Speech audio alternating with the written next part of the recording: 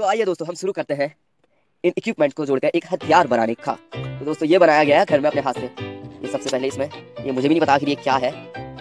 इसको इसमें लगा के जो ये नट है, इसको टाइट कर दिया। और ये आप देख रहे होंगे, अनोखा टाइप का लग रहा होगा आपको। ये इसमें फंसा दिया गया है और ये अच्छे से फिट हो गया है। और ये। और देखते रहिए दोस्तों, ये कितना खतरनाक बनता है। इसे आप घर में भी बना सकते हैं। हम आपको ये नहीं बता रहे हैं कि जो इसके ये पार्ट्स है, वो कैसे बनाए गए हैं। ये नहीं बता रहे हैं। बस ये बता रहे हैं कि आखिर इसे जोड़ने के बाद जो चीज़ बन के आएगी, वो कितनी घातक होगी। और हम आपको सूट करके भी दिखाएँगे कि इसे कैसे सूट कैसे सूट होता है। और इसकी जो रेंज है, मैंने जैसा कि आपको बताया था, दो गज। तो देखिए दोस्तों, ये जो ऊपर से नट लगाया गया है, एक स्प्रिंग भी डाली गई है, जिससे फोर्स मिलता है गोली को। और अभी इसमें डाल दिया गया है।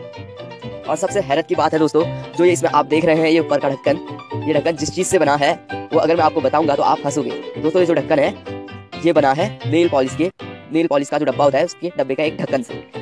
और आप देखिए अभी कैसे इनको जोड़ा जाता है। और ये इसमें फिट कर दिया गया है और यहाँ से स्क्रू डालकर बड़ी हैरानी होगी आपको ये जान के कि घर, लोगों के पास इतना टैलेंट होता है कि घड़ी में वो ऐसे ऐसे हथियार ऐसे ऐसे बना सकते हैं। और ये दूसरों के लिए हानिकारक और खतरनाक भी हो सकता है। दोस्तों, ये बताना चाहूँगा, जो ये है, ये ये एल्यूमिनियम से बना है। ये देख रहे हैं आप एल्यूमिनियम है। और इसमें जो ये वायर लगाई गई है, इसका वेट बढ़ाने के लिए लगाया गया है। ये भी एल्यूमिनियम की तारी है, जो इसका वेट बढ़ा देती है। और ये तीन है। ये क्या है? आपको अभी अंदाज़ा आ जाएगा। तो दोस्तों, ये स्टैंड है। आप सोच रहे हो कि ये तो एक रॉकेट लॉन्चर जैसा बना दिया गया है।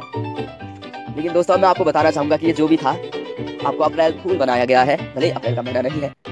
तो दोस्तों, आपको लग रहा होगा कि शुरुआत में तो इन्होंने हथियार बनाने को कहा, लेकिन आखिर ये बना क्या दिया? तो दोस्तों, सबसे इसमें जो खास बात है, घूम भी सकता है, ये चारों दिशाओं में ये देखिए।